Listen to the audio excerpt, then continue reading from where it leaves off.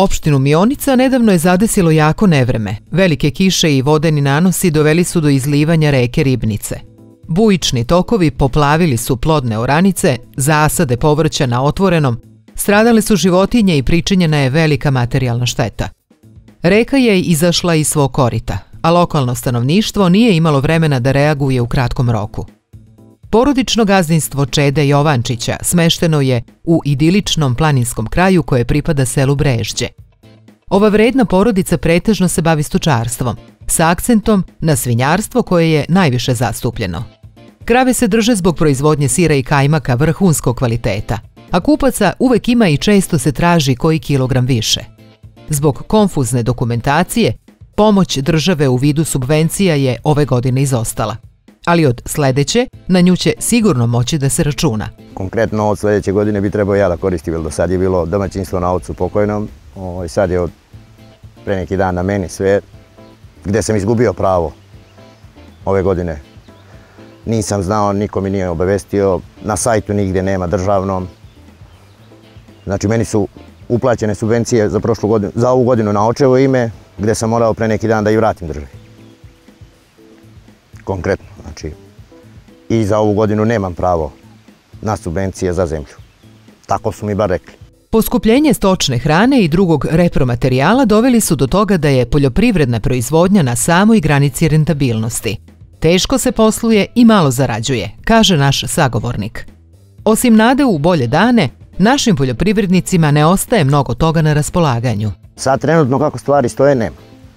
Da se razumemo. Znači, uf, Ja pretežno to što radim, e, sejem žitarice, ječam ovas, e, pšenicu, kuruz, ja to sve spremam za svoj stoku.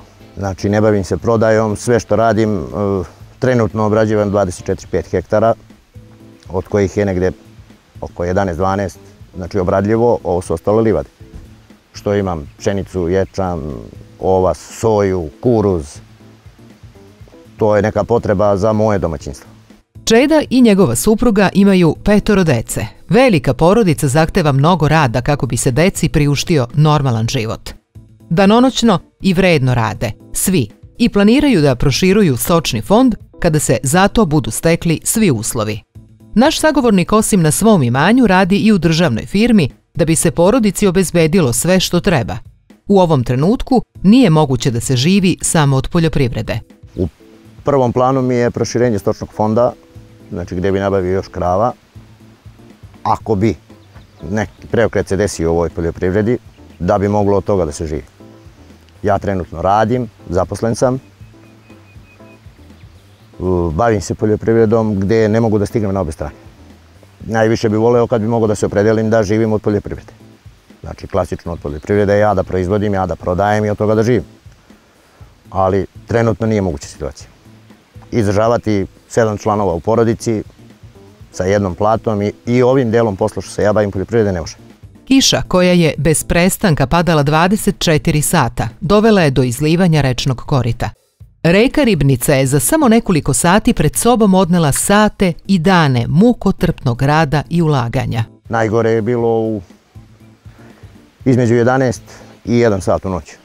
E tad je ovo sve, vidite, ovde lepo snimili ste, to je sve bilo pod vodom bukvalno kad pogledate kao more.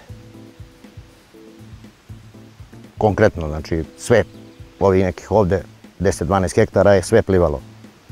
I dole kuća što ćete vidjeti. Trenutno ove površine što su pod livadama, pod detelinama, mogu samo da se prevru. Nadamo se da će se ovaj kukuruz malo povratiti kako tako, ali livade detaljno znači mogu samo da se prevru. Ovde košenja nema, ovde nema rada dok se njivene uzoru ponovo. Očekujete li neku pomoć od opštine?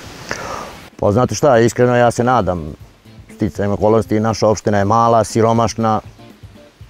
Sad sve su oči uprte u vladu i u državu. Konkretno očekujemo od njih pomoći. Ako oni pomoglu našoj opštini, opština će sigurno pomoći nam. To u to ne sumljamo, ali pitanje je sve do države, znači do vrha. Čeda ističe da opština Mionica uvek izlazi pred zahteve poljoprivrednika i koliko može u svakom trenutku za njih pokušava nešto da učini. Pozitivan primer dobre saradnje sa lokalnom samoupravom nije tako čest primer kod nas. Da posle kiše uvek sija sunce i na red dolaze neki bolji dani, govori i primer Čedine starije čerke Kristine, koja na imanju rame uz rame sa tatom radi sve poslove, od baliranja sena do vožnje traktora i što je najvažnije, ona želi da ostane na svom imanju. Na početku da kažem, ja imam 16 godina. Od svoje osme godine se bavim poljoprivredom što se tiče vožnje traktora, seliranja, kupljanja bala i tako dalje. Očeva sam desna ruka odavno, uvek smo radili, zajedno sve uvek zajedno radimo. Moje želje su da ostanem da pomognem ocu jer se meni stvarno sviđa ovde i navikla sam se da radim oko poljoprivrede što ne težim da idem za gradom. Mislim, volim ja da idem u grad i sve to, ali nekako selo, valjda sam se navikla i voljela bih da ostanem tu. Srbija sigurno ima u svakom selu makar po jednu ovakvu Kristinu. Vrednu, mladu i sposobnu na kojoj će sutra ostati celo imanje. Država mora da nađe načina da stimuliše i nagradi ovakve mlade ljude da ostanu na selu. Neophodno je da se naprave dobri putevi, da se sprovede elektrifikacija, da se mladima pruže sadržaj koji mogu da se nađu i u gradu, jer samo uz ovakve ljude naša zemlja može ponovo da bude jaka i bogata agrarna zemlja. Domaćin će svaki znati dobar savjet se isplati sa novog portala Vreba Saveti sa Agroneba. Posetite ovog trena i nestaće ta dilema. agrosaveti.rs Sajt koji nudi odgovore.